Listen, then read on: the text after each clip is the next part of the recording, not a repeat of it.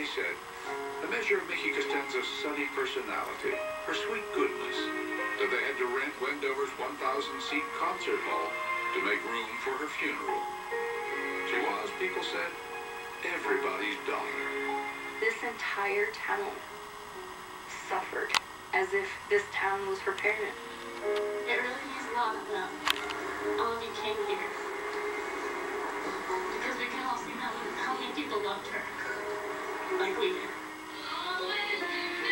And one by one they wept as they said goodbye, and remembered Micaela so cruelly murdered as the ideal young woman, the pride of West Wendover High.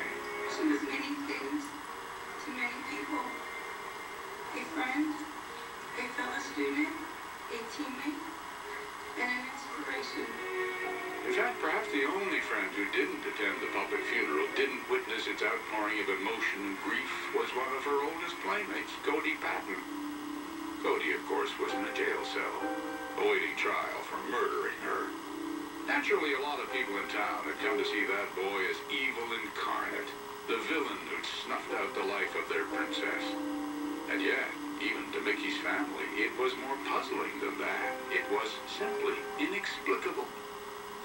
Never hurt her. I don't understand why he ended up confessing to it. I'm still like, there's something more to this story.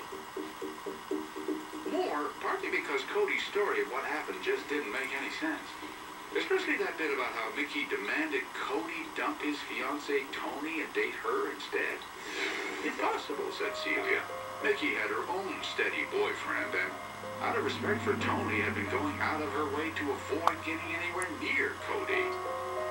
Micaela never liked confrontation. She did not like drama. She hated drama. If it was going to cause an issue, she would stay away. Anyway, everybody knew about Cody and Toni's engagement, saw them flash their engagement rings. He, the six-foot-six soon-to-be Marine, she, the wee slip of a thing who made it her business to tame his temper and set him on the road to righteousness. She even persuaded him to convert to the Mormon church.